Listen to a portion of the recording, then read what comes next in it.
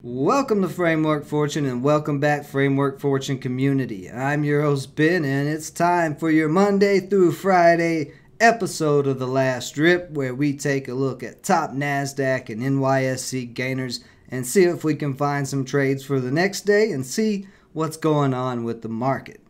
So let's dive right in and not waste any time. The SPY, after the pullback last week, having a rebound today, but hitting the 20 day moving average at that 421. Like I was saying in the live stream trading this morning, if you join me, this could be a bull trap. And the reason why I say this is if you look back last year on the SPY, where we had the pullback during COVID, it had two weeks of a little drop, then two weeks of a rebound and this rebound right here was a bull trap. This got people stuck in there. If you don't know what a bull trap is, bulls are looking for the market to go up and they get trapped sometimes in positions thinking the market's going to continue to go up and then they get dumped on.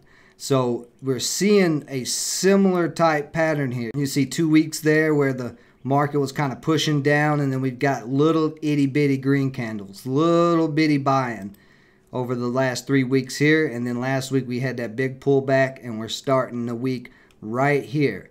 So this could be another one of those bull traps, and we could see the market still pull back. There's a lot of stuff coming out of the Feds right now, and a lot of it is BS. All you have to do is read it, and you will see how they're contradicting themselves.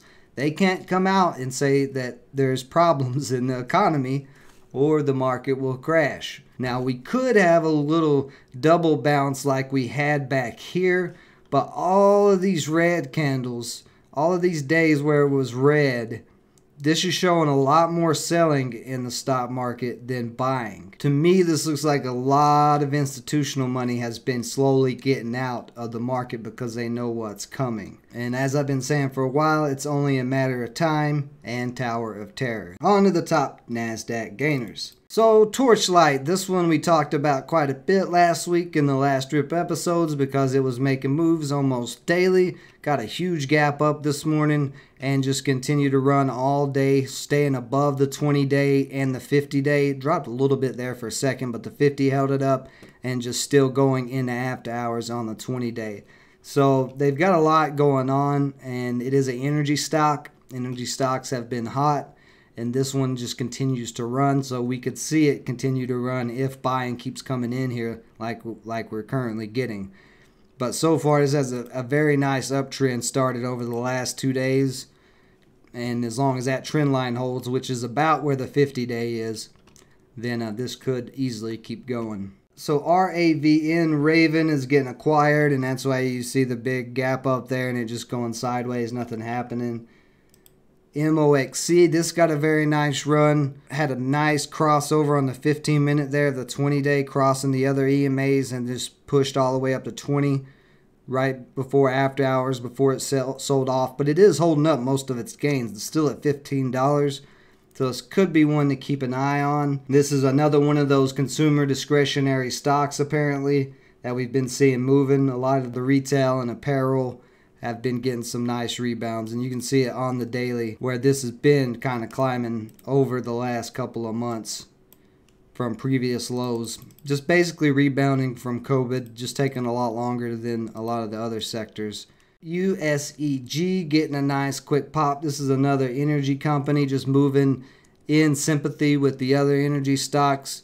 Was down at uh, 408 there and pushed all the way up to 528 at after hours. So we're seeing this same thing kind of happen on the SPY as last week where we were having stocks pop quick in the morning and pull back the rest of the day and then some of them getting some nice moves in power hours. So power hour may be the place to trade here if this trend continues. We'll see.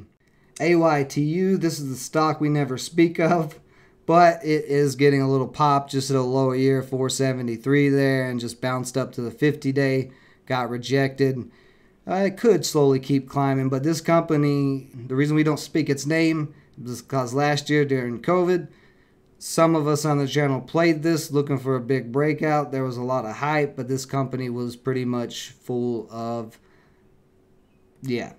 So anyway, SWBI, this is Smith & Wesson. We talked about it Friday, and it just continuing to rip with those great uh, earnings after everybody bought guns, and there's that dividend coming out soon.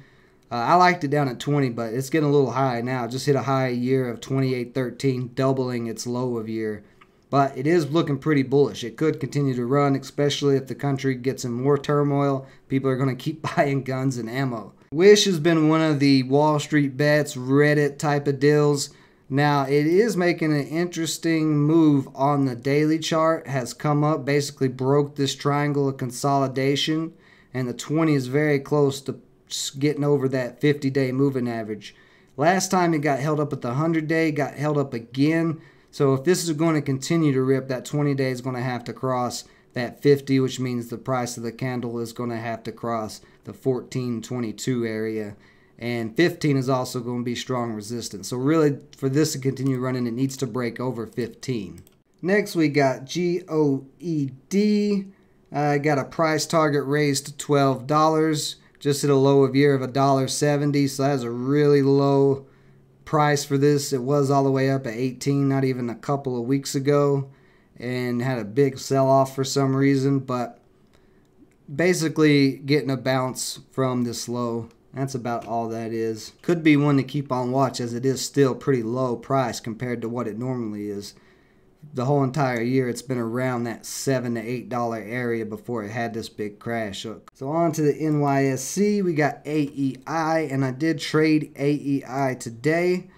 Had a big rip in pre-market, super good PR, very good PR. They started working with Tesla Anytime a penny stock works with a bigger company, that is always good news. So it did get a very big spike, sold off at market open, and started making this nice little consolidation back up.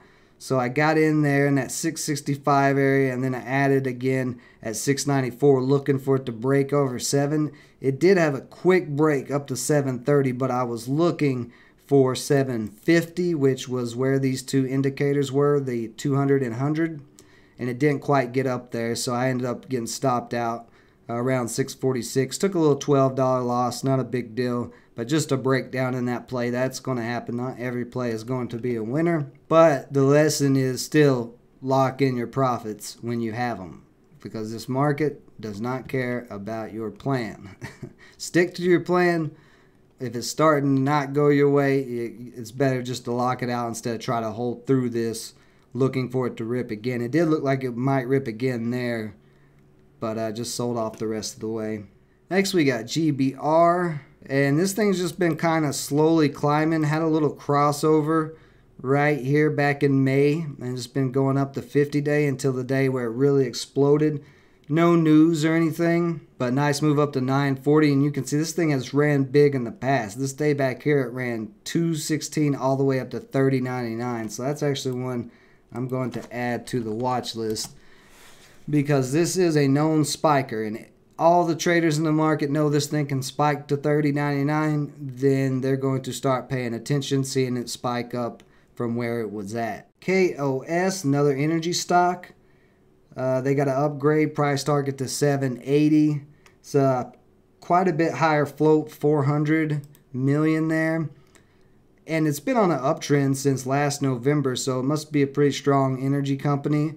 But really getting a move today with a crossover here on the 15 minute over all EMAs and running up to that 370.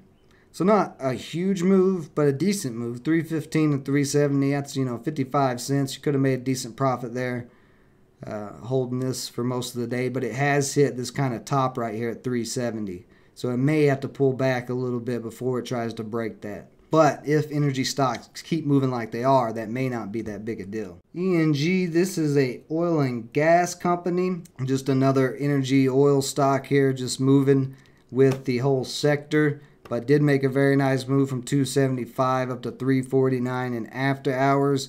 Had a crossover on the EMA right there this morning in after hours. So on the 15 minute, uh, you did have a chance to get in there if you were looking at this type of play.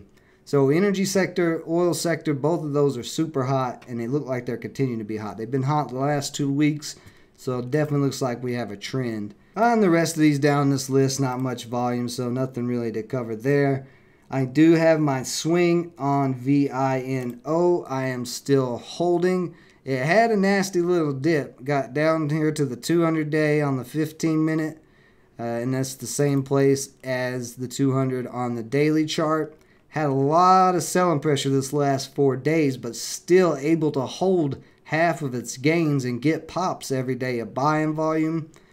I think this is probably going to rip. You can see that 20 day uh, over the 100 day moving average now and coming close to that 200. All it has to do is this price has to push up and drag this 20 day across this 200 and this thing will go nuts. So I actually added to this position uh, right down there at 607 area and I added in I added to it on my Charles Schwab Street Smart Edge platform as well. So all all in all right now I've got probably almost 200 shares of this that I've been building this position on looking for uh, a really big push up on this again like kind of like a candle like this a big rip.